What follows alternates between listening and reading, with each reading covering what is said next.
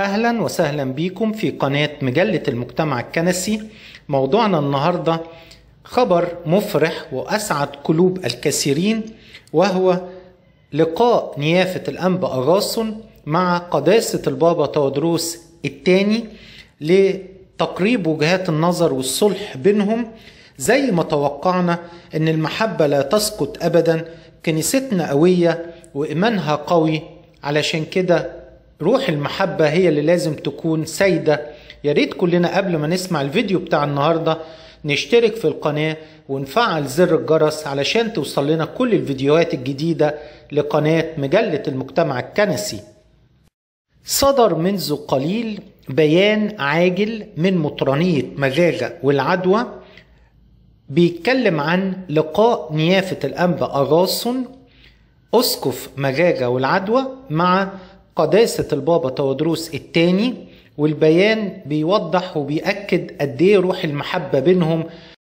نص البيان تم اللقاء بالمقر البابوي بالقاهرة مساء يوم الاثنين الموافق 14 سبتمبر 2020 مع قداسة البابا الأنبا تودروس الثاني بابا الأسكندرية وبطريرك الكرازة المركوسية وأصحاب النيافة الأحبار الأجلاء نيافة الأنبا هدرة مطران أسوان وتوابعها ونيافة الأنبا إبرام مطران الفيوم وتوابعها ونيافة الأنبا دانيال سكرتير المجمع المقدس ونيافة الأنبا أرمية الأسقف العام ورئيس المركز الثقافي القبطي والأنبا أغاصن أسقف مجاجة والعدوى.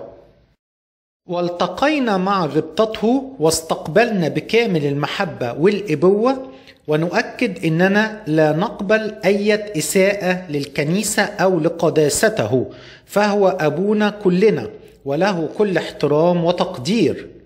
أما بخصوص الدعوة المرفوعة حاليا تم توضيح أنني قمت برفعها بصفتي الشخصية كأسقف كرسي مجاجة والعدوى. ونرحب بالحلول المطروحة كما وعدت سابقا مع إرشاد قداسة البابا وكل ما يهمنا. أولا وأخيرا سلام الكنيسة والسلام الاجتماعي ومحبتنا نحن المصريين بعضنا لبعض ووطننا المحبوب. طالبين صلوات غبطته والأحبار الأجلاء الحضور تحريرا يوم الثلاثاء 15 سبتمبر 2020 الأنبا أغاصن أسقف كرسي مجاجة والعدوى. الخبر ده خبر مفرح لينا كلنا. قد إيه فرحنا؟